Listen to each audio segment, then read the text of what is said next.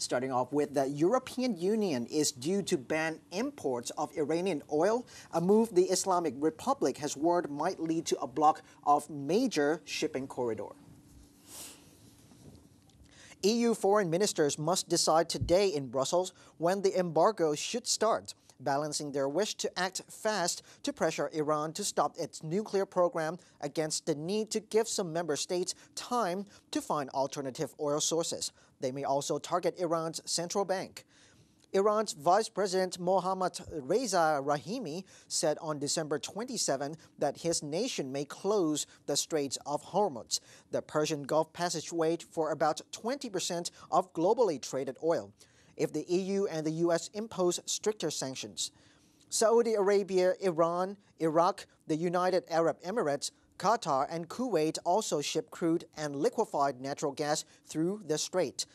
The US and Europe have raised pressure on Iran this month after the International Atomic Energy Agency, the United Nations Atomic Watchdog, said Iran had started enriching uranium up to 20% at a fortified site.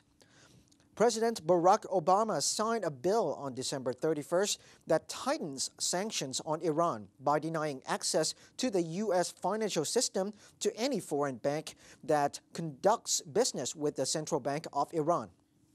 The US and EU say Iran's nuclear development plans are aimed at building atomic weapons, the Islamic Republic, the second largest oil producer in the Organization of Petroleum Exporting Countries, after Saudi Arabia is already under four rounds of UN sanctions and says its nuclear program is for energy and medical purposes, not weaponry.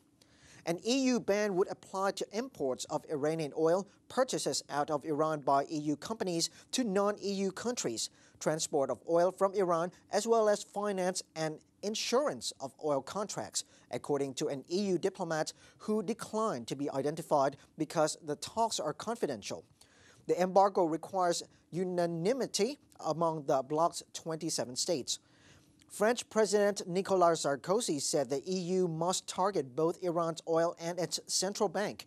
EU governments reached a preliminary accord last week for measures against Iran's central bank, offering to allow opts out on case-by-case basis to protect European trade with entities not covered by sanctions, according to an EU diplomat. Ministers are likely to approve the agreement, the diplomat said. The oil embargo will probably take effect in about six months, other EU diplomats with knowledge of this talks said. The EU imported 14.5 billion euros of goods from Iran, 90% of which was oil and related products.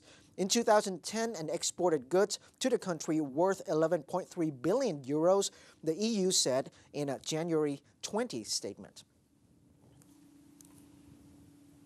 10 commercial banks last year saw impressive growth, but this year's outlooks are comparatively diminishing due to the likely hike in the deposit insurance premium.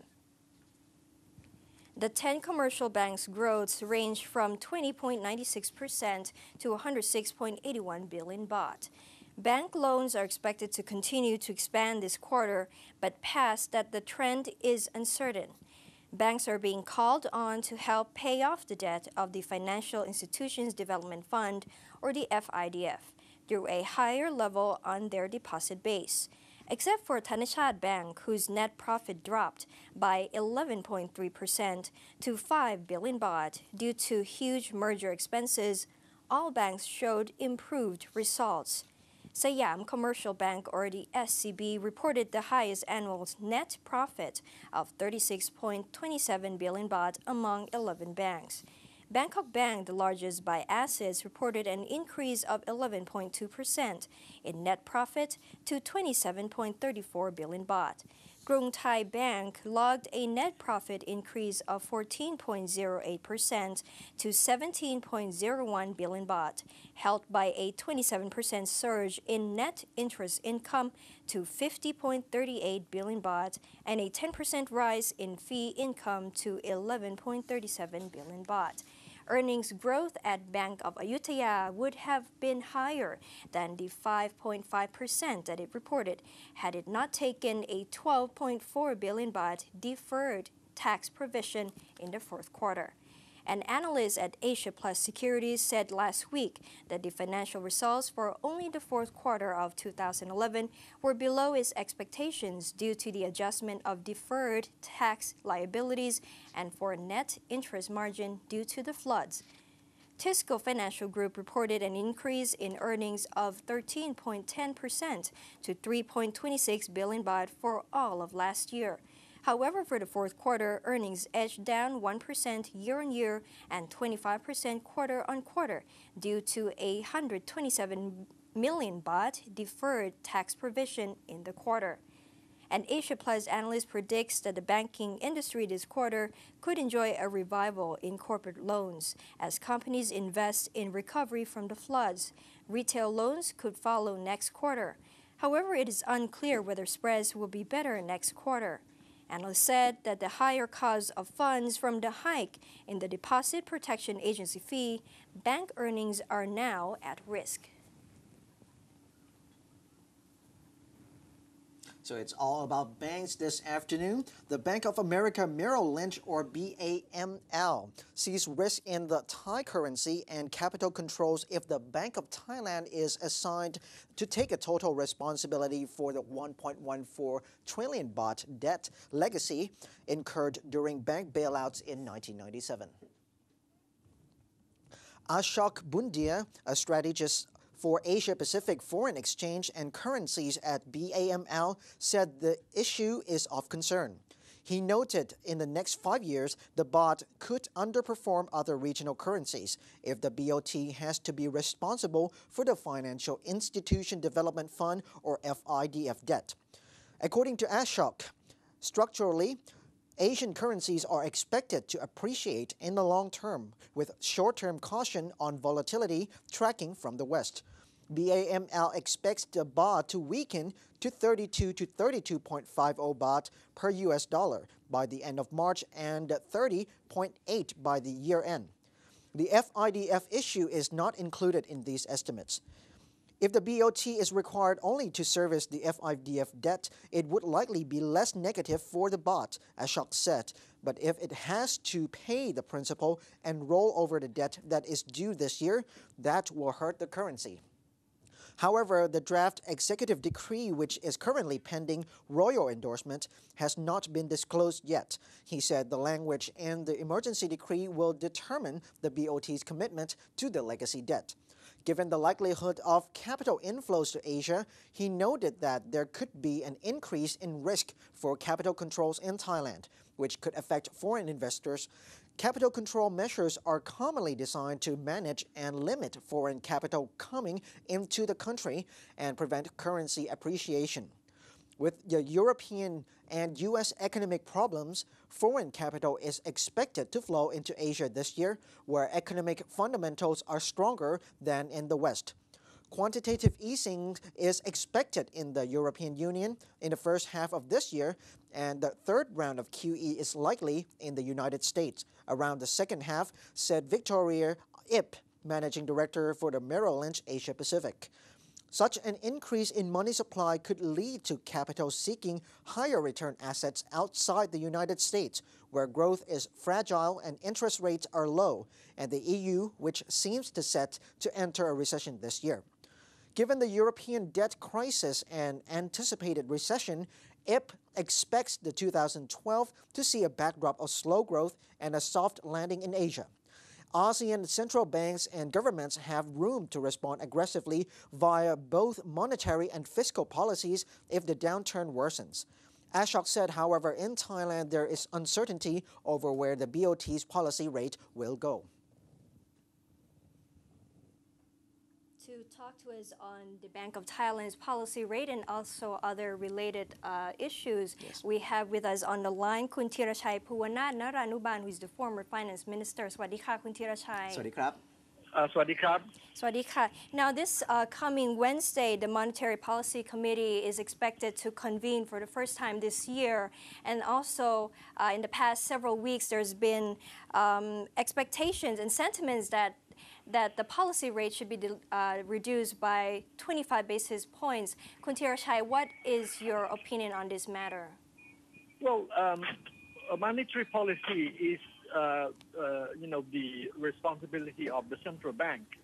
Uh, uh, and, you know, they work as a committee, so it is not easy to predict, you know, their, their, their opinions. Yes. Uh, but uh, I, I have a feeling that, uh, you know, they, uh, it is possible for them to reduce uh, the um, policy rate by perhaps uh, a, a quarter of 1%. Uh, because the economy had slowed down substantially as a result of the big flood. Yes, Khun Thirachai, now that you're out of the picture of the finance portfolio, can you share some opinions on how the FIDF debt should be managed? Well, uh, I think the proposal, you know, to have uh, the banking system Yes. bears the burden uh, uh, in uh, resolving the problem, you know, of past mistake uh, is still uh, the, the correct way to do. Uh, you know, and uh, uh, and and uh, the, the, the draft, you know, of the emergency decree uh, has, you know, uh, uh, laid the, the burden uh, squarely on the shoulders of the of the commercial bank. Uh, it, uh, what I oppose, uh, you know, was the was the attempt to try to to pass this liability onto the central bank, uh, and uh, uh, you know, uh, which would uh, have violated uh, the principle of, uh, uh, of of proper economics and and uh, financial discipline. Yeah, so, so what negative impacts would that have? Uh, the the impact, uh, I have I have to admit that it may, uh, you know, cause uh, the, the profits of the bank to to, to be uh, a little bit lower, and the banks may, uh, if you know, if uh, uh, if if not careful, they may try to pass on the burden, some of this burden to the customers. So Okay. it'll be up to the central bank, you know, to negotiate with the commercial banks and set the rates of levy uh, to be reasonable, uh, such that the banks can absorb this by themselves. Khun Thirachai, uh, within four to five uh, years, the government is expected to create more public debt from 40% to 60%. Now, from your experience, is this a concern? Well, um, you know, um, increasing public debt in Thailand uh, uh, is, is, is possible because the, the current level of public debt is still low. Yes. Uh, as long as the money is used for productive purposes, as long as you know it uh, helps uh, the country uh, to have a, long, a long uh, term sustainable increase in income. Uh, the the, uh, the key to this is that you know uh, we have to be straightforward about it. I, I'm I'm totally against the idea you know of trying to artificially lower uh, the level of public debt, uh, the lower uh, you know uh, just just by uh, uh, accounting uh, maneuver or just by uh, transferring some of the shares in the state enterprises. Right. The debt is still entities, uh, Yeah, that, that are that are related to the government.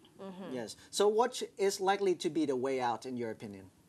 Well, uh, the way out, in my opinion, is just to be straightforward. Uh, You know, if we need to borrow, uh, just show the higher debt figure, uh, and uh, you know, over the long run, uh, once the public, uh, you know, becomes more strong in in, in their uh, in their in their welfare, then start to collect uh, more tax and and, uh, and and put on the program to repay the debt. Just just be straightforward about it. Right, just show the real number. Of the That's debt. right, Okay. Well, thank you very much, Khun Thirachai, Thank for your you share so today. much, Khun Thirachai, and happy Chinese New Year to you. Happy Thank you Chinese very New much. Year. Bye bye. Bye. Bye bye.